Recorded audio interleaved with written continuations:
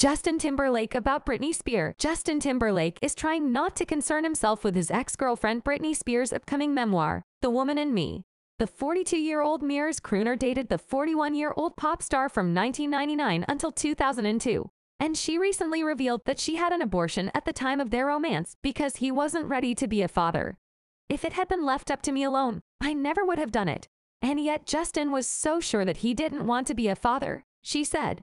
Despite the headline-making excerpt, Justin apparently isn't focused on Britney or what's included in her new book. Justin has been focusing on his own family and trying not to concern himself with Britney's memoir, a source told it. In recent years, Justin has tried to be supportive of Britney from a distance. They dated so long ago, but he still has respect for her. Justin and wife Jessica Biel just want everyone to grow and evolve instead of continuing to bring up the past. Justin Timberlake, Britney Spears Justin and Britney dated from 1999 until 2002. BI slash Shutterstock since Justin and Britney broke up. The former NSYNC member romantically moved on with Jessica, whom he married in 2012.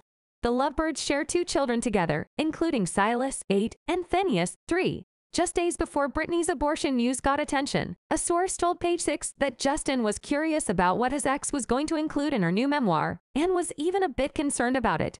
He's very curious what she'll reveal from their relationship. It's eating at him, the insider shared.